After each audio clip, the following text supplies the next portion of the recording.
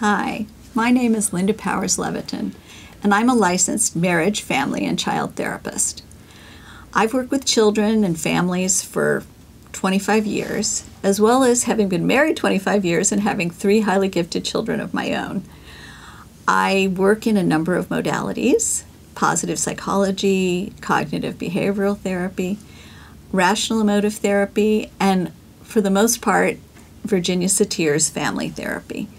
All of them are designed to be a positive way to help you and your family and your child better understand what you need and how you need it to make a great life.